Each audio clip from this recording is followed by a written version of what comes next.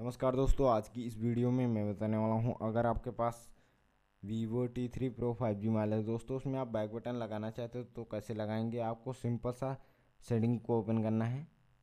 Open करने के बाद आपको स्क्रॉल कर लेना है नीचे की तरफ़, और यहाँ पे ऑप्शन मिल जाएगा शॉर्टकट एंड एक्सेसिबिलिटी इस पर क्लिक करेंगे, और यहाँ से आपको ऑप्शन मिल जाएगा सिस्टम नेविगेशन इस पर क्लिक करेंगे, और यहाँ पे दो ऑप्शन मिल रहे हैं गेस्टर नेविगेशन और थ्री बटन नेविगेशन। तो आपको थ्री बटन नेविगेशन पे क्लिक कर देना है। इतना करने के बाद ये आपकी बटन लग जाएँगी। अब आप यहाँ से चेंज भी कर सकते हो बटन को। लेफ़्ट से राइट कर सकते हो। देखते हैं। वीडियो पसंद आए तो वीडियो को लाइक कर देना। चैनल पहली बार हो, चैनल को सब्सक्राइब कर देना।